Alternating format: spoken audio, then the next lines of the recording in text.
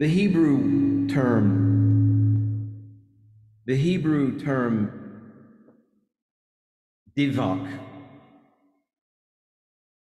D I V O C, and interestingly, if you spelled that in reverse portion, C O V I D, it equates to a different word altogether. But the Hebrew term D I V O C means the possession of the pernicious soul.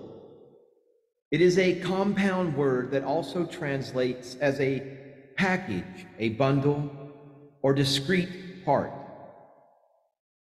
It can also mean to tear apart, to separate, or to annihilate. Some conveniences in the U.S. say the name gathers the commitment of a person to a poisonous soul. Other words that are related to this word include dybbuk and COVID, which stands for coronavirus disease. In Hebrew, the word divoc, D I V O C, means the possession of a demon. This name is also referred to as possessed by an evil spirit. There are a there are a few other possible meanings for the name Divak, but they all refer to the same thing the evil soul. If you were to try to find out what possessed the person, you'd be able to tell how the person got that name.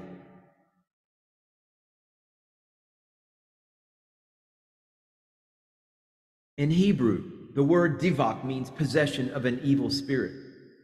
It is believed that the name is derived from the word dybbuk, D Y B B U K. A dybbuk is the soul of a deceased person or an evil one. They are said to possess a poor evolved creature, a lower life form. That is usually the types of life forms, containers that are open to these evil entities. This term has an interesting origin in the Bible. The term is an English adaptation of a Hebrew term that means possession. Divak is a common name in English, but its Hebrew meaning varies. The term means possessed by an evil spirit and has a wide range of interpretation. Depending on your beliefs and cultural background, the name can be a sign of possession of an evil spirit. If the person possesses an evil spirit, it might be the soul of the person. Hence, it is not uncommon for a person to possess an evil spirit. The word divak comes from the Hebrew word dibak, as I mentioned earlier, and is a variation, a demon spirit that inhabits the soul of humans. The demon has the ability to control people by destroying their will. However, in other languages, as dibak possesses a body, it is an evil spirit in the opposite sex incubus, succubus. This makes it a very rare and unlucky thing. According to the dictionary, divoc, D I V O C, means possessed by evil spirits. While it has no direct connection to the English word, it is a close cousin of COVID. The word is spelled C O V I D. If you spell it backwards, its pronunciation is the same as the original, but it's just a different version of the word. The word divoc D-I-V-O-C, comes from the Hebrew word dybbuk. It is a type of demon, as I mentioned.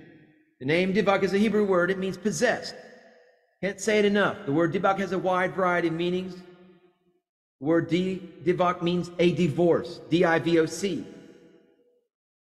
as well as some Hebrew etymology. During the Middle Ages, people considered divorce as a legal separation from a spouse. The word divorce is a result of a court order allowing a couple to get divorced. But it didn't happen in the Bible. It's in the Bible, but in the early days, the Hebrew word had no divorce. The Hebrews had no divorce laws, so it's more of a religious, spiritual, uh, etymological origin. So, again, the word divak comes from the Hebrew word dybbuk, D Y B B U K. In Hebrew, a dybbuk is an evil spirit that lives on earth.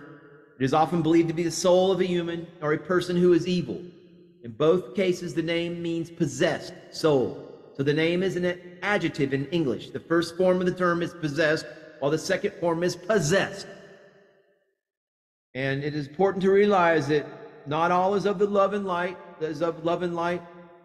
There are many among us here that are possessed evil entities, dark uh, system agents, matrix agents, possessions possessed of demons. Uh, so, just a little bit of a uh, uh, spiritual technology to leave with you to consider uh, how insidious these programmings, these negative artificial intelligence, digital matrix, how how exactly insidiously evil um, when you consider that the word COVID is a actually a Hebrew word and it has its uh, correlations with the term divak, which means the possession of the pernicious soul. All right?